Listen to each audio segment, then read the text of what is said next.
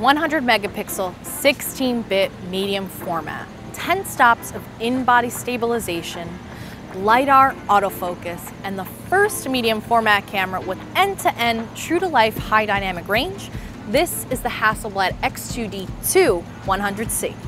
The aluminum body, the color science, the sensor, the minimalistic design is just a small list of what makes up that Hasselblad magic.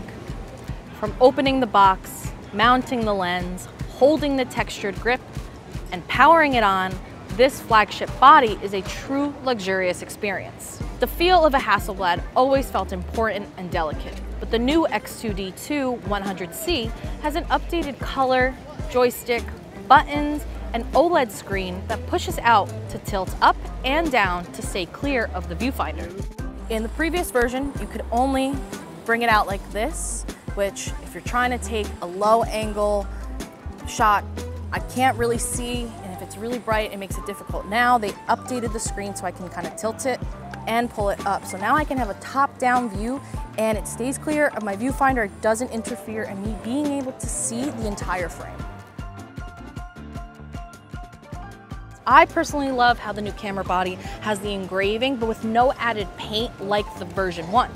It's just sleeker and the buttons are actually a little flatter and also no white on the buttons. But I wanna know, which do you prefer, white or no white? Now this is a book you can judge by its cover. The new X2D 2 100C has some worthy under the hood updates. The first X2D 100C honestly did not have the best autofocus. It didn't lock onto subjects that well, and sometimes I just found it easier to switch into manual shooting. And yes, being a Hasselblad shooter is being a slow and steady in the moment shooter. But better autofocus is something that photographers were asking and Hasselblad delivered in different ways. One of my favorite excuses to use when shooting videos like these is coming to viral coffee shops that I see on TikTok because I am that girl and we're gonna get a brown butter latte. Let's do it. Mm, yum. Sometimes you have to reserve your other hand for good coffee. So one of the biggest updates on this camera is the joystick. Right now, one hand, the other one's busy, and I'm trying to track these bees to land on the flowers, but obviously they're bees, they're quick, so I'm able to use the joystick with my thumb to reframe and refocus where I want the focus to be. And honestly, without the joystick, that wouldn't be very easy. I think that's my favorite feature of this entire camera is the joystick. The X2D2 100C now has 425 points of phase detection autofocus, previously 294. This is gonna allow you to lock onto more areas of your 100 megapixel frame. This is gonna help greatly when photographing portraits and moving subjects.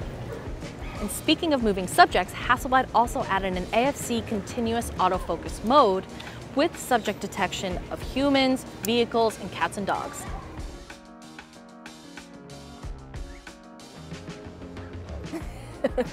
They're so cute. And Hasselblad also introduced LiDAR to enhance the phase detection autofocus. So I don't think that there will be any more complaints when it comes to autofocus on this camera. One of my favorite parts about shooting with a 100 megapixel camera is how much you can crop in. While yes, you should always try to frame up your photo to be as is how you see it, but sometimes some things are a little too far, maybe a little too high up. Right now, I'm downtown New York City across two avenues, which that's a lot, pointing towards a building that's very high up, and I just want to see how much detail I can retain in my image and in how much I crop in. So let's see. I mentioned in my intro that this is the first medium format camera with end-to-end, true-to-life, high dynamic range. So what does that mean? Hasselblad added HNCS HDR, which stands for Hasselblad Natural Color Solution with high dynamic range. So what makes this different? This is the first medium format camera that processes rich color tones with high dynamic range, all in camera to be displayed on your screen.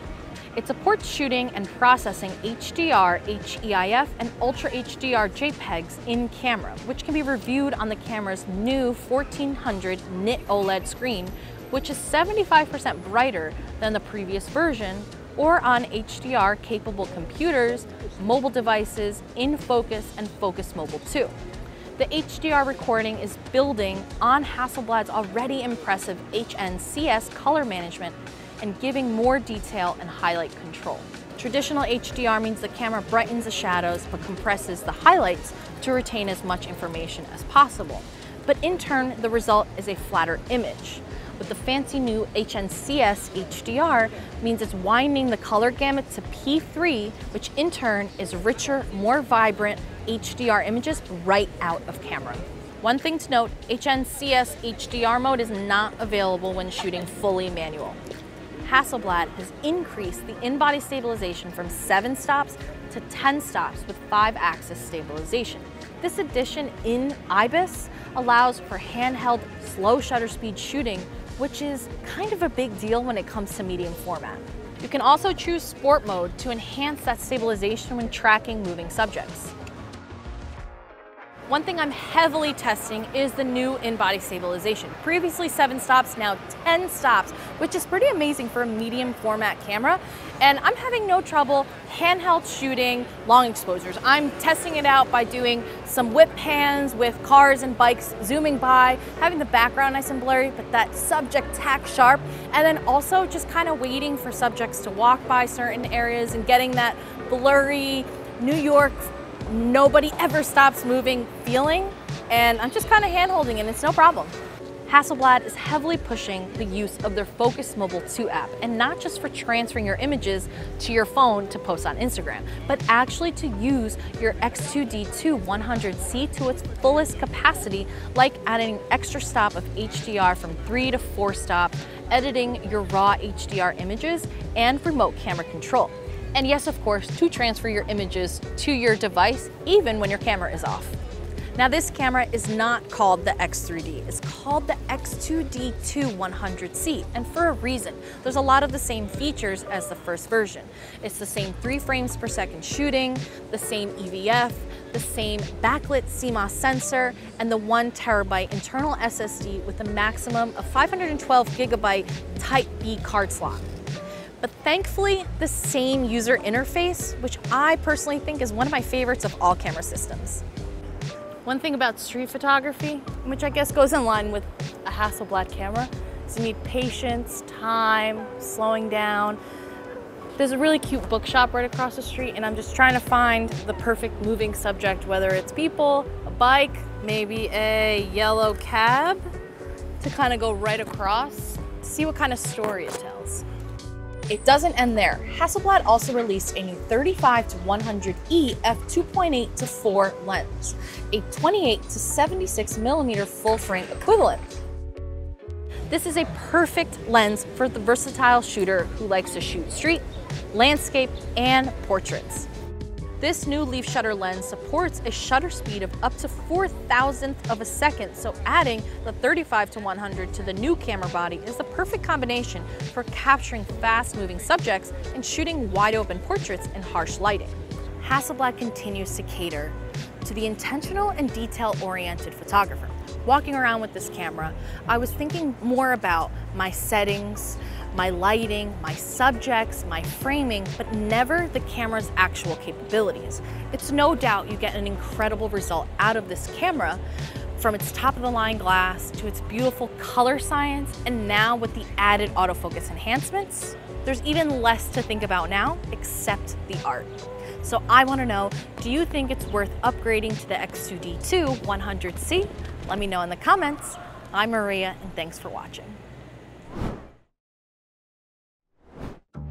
Introducing the new Payboo credit card.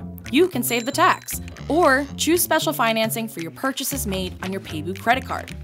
It's easy.